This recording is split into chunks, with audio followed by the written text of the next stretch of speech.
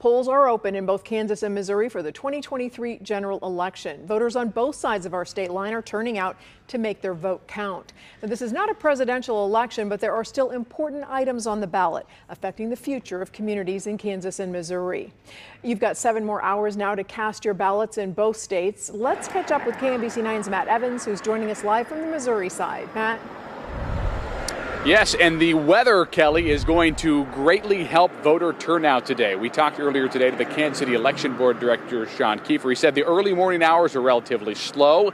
Later in the morning, though, as the sun started to come out, temperatures started to warm up, more and more people started going to polling places. As you can see, folks walking in here to this polling place. This is the Wornall Road Baptist Church off of Wornall and Meyer, and it has been fairly busy today, especially for an election with so few questions on the ballot. Here in Kansas City, Missouri, there's going to be three questions. One is that KCATA 3 8 cent sales tax we've been talking about for a while, the extension of it for another 10 years. Another about uh, selling some parks land. And then another question that is Jackson Countywide over a new use tax, which we talked about yesterday. You'll hear more about in the newscast uh, later today as well. So, as far as uh, the turnout for these elections, uh, Kiefer with the Kansas City Election Board hoping for maybe 10%. Jackson County Election Board hoping for something around the same as well. But still, that is a very low voter turnout for any election. We are going to talk to some folks later on today about some ideas to boost voter turnout for these local elections because they are so important and they do really have a lot to do with the future of our city, the past that they go as well. So we'll have those ideas for you coming up at 4, 5, and 6 o'clock tonight. We're live in Kansas City. Matt Evans, KMBC 9 News. In Missouri, voters have several tax issues to decide on. Leaders in a few cities, including Pleasant Hill and Drexel, want voters to add a 3% sales tax to recreational marijuana sales. Clay County wants to help improve its 911 system with a fee for cell phones. And Kansas City wants voters to renew a sales tax that helps fund the KCATA bus system. In Kansas, many races are for school boards, city councils, and a few local elections for mayor. KMBC 9's Martin Augustine is getting you prepared before you hit the ballot box.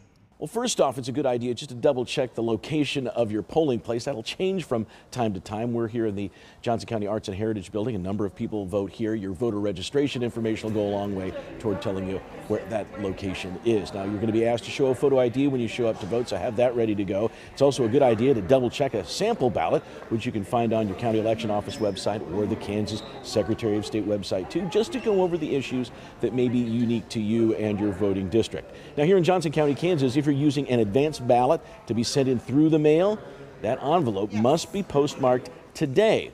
You may also take that ballot and drop it off at one of eight locations across Johnson County, but that has to be done by 7 o'clock tonight. If you're voting in person, it's all the same. The polls open at 7, they'll close at 7 tonight. Something to point out there if you're going to vote late, your schedule won't allow for you to go any earlier, and you're in line when 7 o'clock rolls around, don't worry about that. Just stay in line. Anybody in line when the polls close will be allowed to vote. One more thing uh, on my X feed, that's the social media platform formerly known as Twitter, I have a number of links to county election office websites.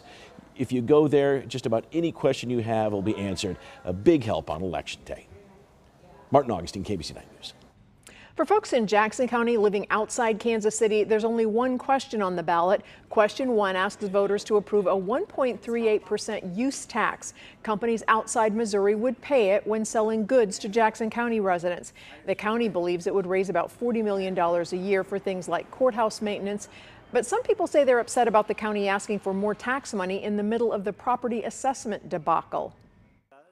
They don't need another boon of taxes coming into the county when they can't manage what they already have. These infrastructure things are critical to the support systems we need to serve Jackson Countyans. So these buildings have a lot of need.